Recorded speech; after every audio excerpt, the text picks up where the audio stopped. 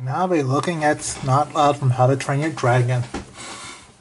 He, like most, like the twins, are mostly known for being brains fir- bronze first, brains later.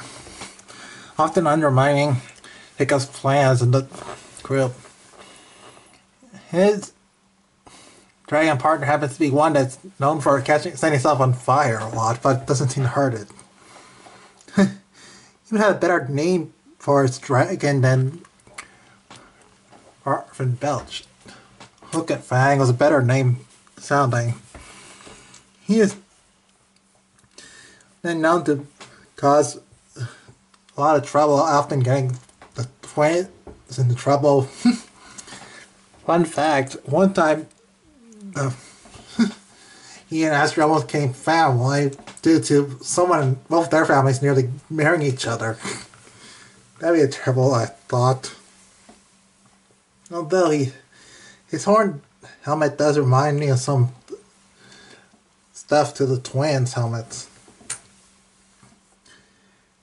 And according to what I learned from National Fact, Vikings actually have worn helmets in the in the, their times. It was just a bad rumor. There was no horn. he's my least favorite, but he's such a good goofball.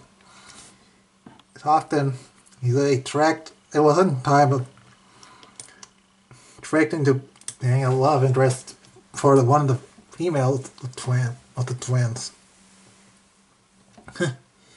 but he is loyal and often sees himself as a great leader. Even helps in a big plan, often thinking about ways to smash someone. And he's always willing to help out, even if it doesn't get the biggest roles.